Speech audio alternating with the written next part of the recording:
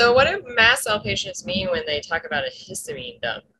Well, they usually mean one of two things. The most common usage of the phrase or term histamine dump is referring to the fact that in the research, uh, there's been a lot of research on circadian, uh, diurnal, nocturnal variations in histamine and in humans and rats. And what has been discovered is that it looks like human beings will have a valley of histamine, their lowest histamine levels around 2 to 4 in the afternoon, and then their peak of histamine levels will be around 2 to 4 a.m.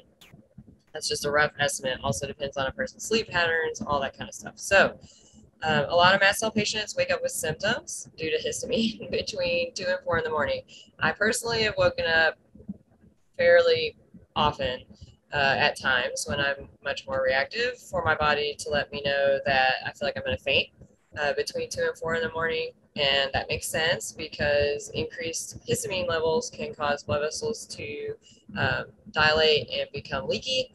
And so that can drop a person's blood pressure. Also, flushing, itching, that sort of thing. I've woken up out of it, it's vomiting.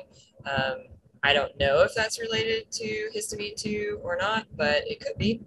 And so, yes, a lot of mast cell patients will have get woken up uh, in the middle of the night, really early morning, sometime between 2 and 4 a.m., with symptoms on a fairly regular basis, especially when they're in a period of increased reactivity. And th- that is typically what folks mean when they say histamine dump.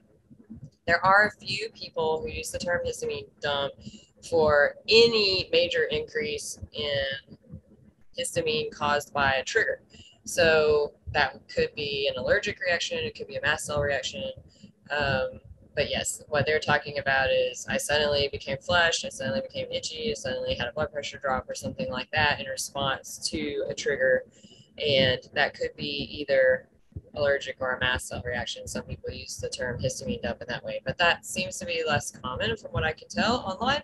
So usually if you're reading the term histamine dump or hearing that uh, from a mast cell patient, what they mean is that time in the morning between 2 and 4 a.m. when human histamine levels are at a peak. So uh, you don't have to take my word for it. I will drop links to a couple of research papers in the about section.